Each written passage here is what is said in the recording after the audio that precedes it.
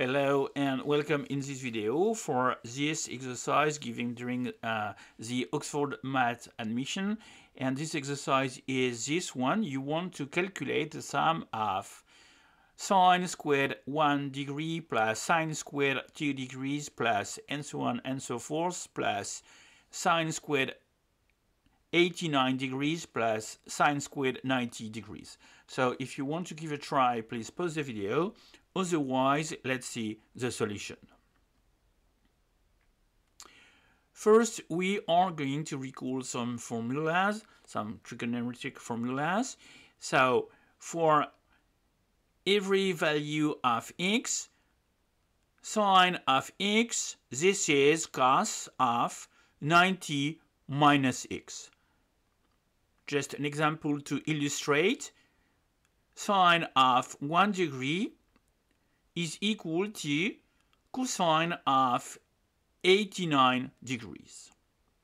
So if you squared these numbers now, you've got sine squared x is equal to cosine squared 90 minus x. Another example to illustrate, this is sine squared 1 degree and this is equal to cosine squared 89 degrees. And the last formula, this is whatever the value of x, cosine squared of x plus sine squared of x is equal to 1. Another example to illustrate cos sine squared 89 plus sine squared 89, this is 1. So to apply these three formulas to this exercise now, we've got sine squared 1 degrees, okay, and we've got also sine squared of 98 degrees. So according to the formula, sine squared of 1 degree, this is also cosine squared of 89 degree. Next, we've got sine squared uh, of 2 degrees plus sine squared of 88 degrees is equal to 1.